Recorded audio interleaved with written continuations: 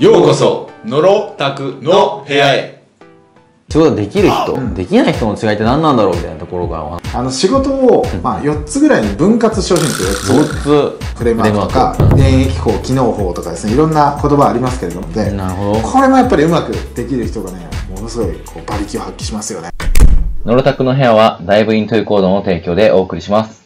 ということで今回は、えー、仕事できる人、できない人の違いって何なんだろうみたいなところからお話をできればなと思っておりますが、そうですね結構皆さん興味持つところじゃないかなって思いますね。ちょっと自分もまあ特に新卒とかの時は、なんか仕事できる人って何であんなできるんだろうみたいなのはなんか速さだけなのかなとかすごい思ってました。ありますよね、はい。やっぱり職場の中に必ずできる先輩っていうのがいて、うんで、まあ、その上司もそうですけれども、はい。まあ、あんなに早くできないよとか、なんであんな風に仕事をうまくできるのかなって 思ったことってありますよね。あります。皆さんあると思いますけど。そうなんですよ、はい。あの必ず秘訣があると思ってまして、うんうんうん。でまあ、特にですね私が今まで、まあ、時間を記録しながらどうすれば効率的にできるか、効果的にできるかっていうのを考えてきた中で、まあね、まず考えていただきたい軸があるんですよ。ね、おあの仕事を、まあ、4つぐらいに分割してほしいんですよ4つ。4つ。うん、でその4つっていうのが、まあ、あの軸がですねまず2つあって2つ。1つ目はですねあの、まあ、ちょっと縦横にちょっと分けるんですけど、はい。縦軸っていうのは何かっていうと拘束されるような仕事なのか、うんうんうん。つまりその誰かに拘束されたり時間を拘束されるものなのか、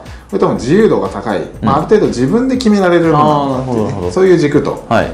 あと横軸がですね、まあ、そのこなすような、まあ、もの、うんつまりその作業をこなせばいいっていうものと、はい。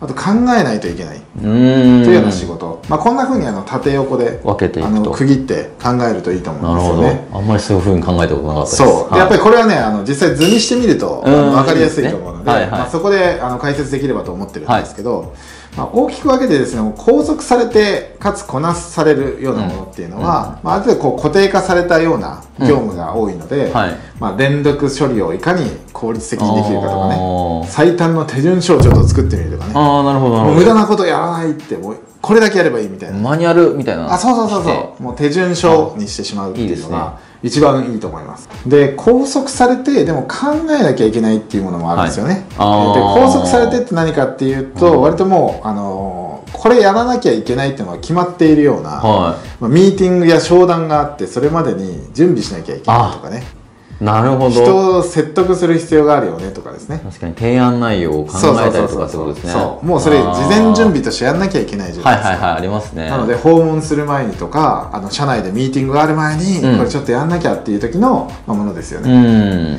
まあ、それって、えー事前にやっぱりこう準備をして、うんうん。で何が必要なのかっていうのを洗い出してであらかじめ合意形成をしていくとかこんな感じでいいですかねとか。ああなるほど根回しをちゃんとして。そうですそうです。根回しとか,、ね。確かに、合意を取っておけば、うん。もうピシッと決まるわスけですよ。ムーズにいくわけですね。そうだから手順通りにやるっていうよりは合意形成。ってああすごく大事ですよね。確かに確かに、はい。大事。でまあ拘束されて、えー考えるっていうのはその合意形成とかなんですけどもじゃあ考えるものなんだけど別に拘束されるわけじゃなくてなんかこう自由度が高いようなもの、うん。何かっていうとまず提案しに行くとかミーティングが決まってるわけじゃないんだけど、うんうん。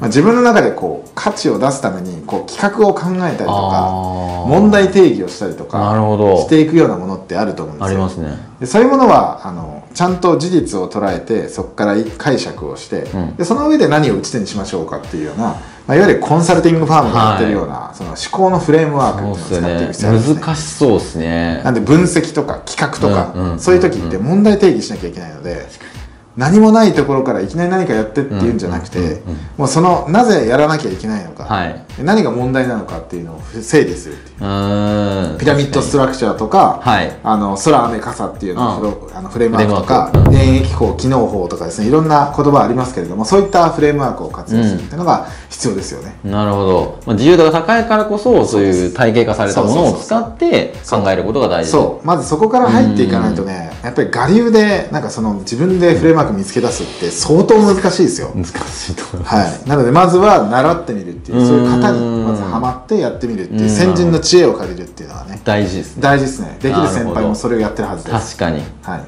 であとはね自由度が高くてこなすような仕事っていうのをねできる時もあるんですよね、うん。でどういうことかっていうとあの隙間時間っていうのを活用するって大事ですよね、はいはいはいはいはい。決められたスケジュール通りにやるんじゃなくて、うん。まあ、例えばですけど隙間時間ができた時に何をするか、うーん。例えば移動中とかがそういう時間ですよね。移動中とかね。本とか読まなきゃなって思うんですけどやっぱ手にこう開きやすいのがスマホだったりするんでそこでもまあなんかまあ、ニュースにするにしても関連で自分の仕事につながるようなものにするかどうかだけでも違うそうです。っていうことですよね。で自分の思考を整理するっていう意味でもそこに使うっていうのは大事だと思いますね。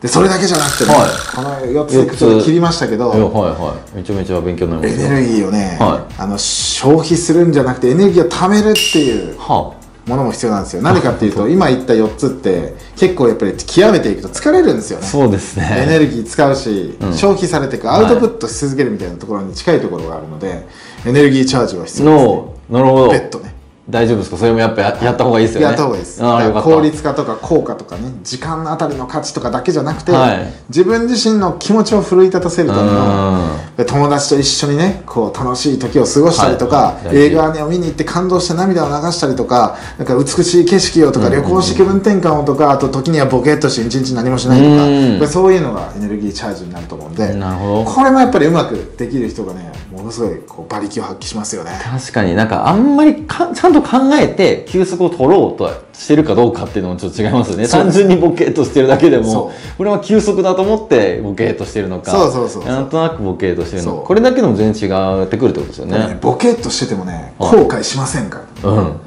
ボケっとしちゃったってすごい後悔しませんか？しますよ。あの時間取り戻したいと思いませんか？思います。でも実はねそういうのって繰り返してると思うんですよ。うん。繰り返しませんか？やって やってますよ。僕もやってます。ねはい。誰でもあると思うんですよね、はい。そういうものを前向きに捉えて自分のことを理解してその上で計画的にやっぱり休むって大事ですよね。気分転換して。うん確かだに毎月旅行に行く人って実はそれが上手い人かもしれない。あ確かに。エネルギーチャージできるからね。まあそういう、まあ、さっきの4証言の考え方と、まあ、エネルギーチャージっていうのをプラスでやっていくそとう。それをねやっぱり仕事時間で全部やろうじゃなくて、はい。プライベートも含めてバランスをねちゃんと取っていくのが大事だと思います。いいなあじゃあまあ何事も今結局生きてるわけなので、じ認識をして何の時間なんだっていうのを認識してやるかやらないかだけでもできる人できない人の違いが出てくるそっていうことですよね。そうですね。なのでそれをちゃんと認識して使いましょう。よしいかがでしたか？いいねと。チャンネル登録をよろしくお願いします